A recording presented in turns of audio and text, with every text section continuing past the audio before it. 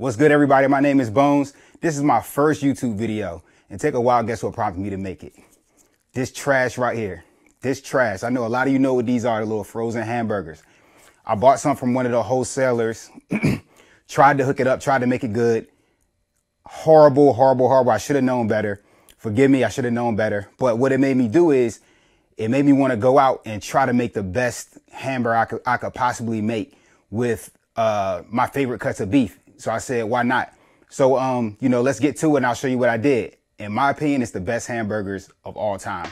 Check it out. So the cuts I chose was the classic chuck roast. Uh, that's pretty much standard in most burgers.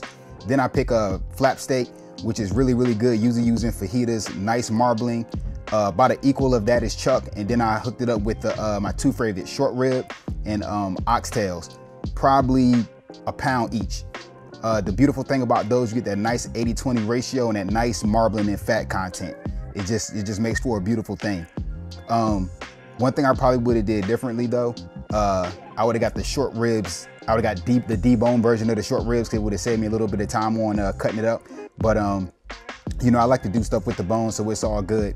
Uh, but the biggest obstacle was not these short ribs. If you ever had um, if you ever had oxtails, you know, stewed down and just tried to eat them, the way the bones are make, made it super hard to get it off the, um, super hard to get the meat off the bone, but it was definitely worth it. So if you want to put in the time, then do it. And even leaving the meat on the bones, I got some really good bone broths, took the kids camping. They loved it. Um, so I mean, it really, it really was a win-win for me and I don't mind working a knife. So it was cool.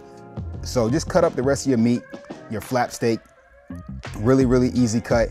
Put it aside. Next thing you want to get your chuck roast, cut that up. Uh, really, really, really easy. It really helps if you were to um, throw them in the freezer and let them get a little firm before you throw them in the grinder. I was making the video, I was kind of on, on a time crunch. So uh, I just I just let it roll. As you can see, I don't have nothing fancy, just a little KitchenAid grinder. Um, it gets the job done. It might be a little slow. I had to stop and clean it out once or twice when the fat starts gunking it up from not being cold, but I got a beautiful, nice fatty result. So now it goes on to uh, making the burgers and this a little bit behind the scenes. This is after I had, I wanted to make smash burgers, but I didn't anticipate the fat content was so much. I didn't have wax paper. So um, my spatula was just like sticking to the meat and I tried to do it like three or four times and I was like, well, forget it. You know what I'm saying? I'm just gonna make some, some classic burgers and that'll give me a more, a better sense of what they taste like. I just seasoned with rock salt and um, coarse ground pepper that uh, what what ended up happening was the salt on there, the the, the rock salt gave me kind of like a little guilty uh, crunch because uh, it didn't render and melt all the salt down. Next, you know, of course, you got to toast the brioche buns and just throw them in there. I like mine medium rare. I like all my beef medium rare. You can cook them more well. You might get more shrinkage, but uh, mine were definitely medium rare.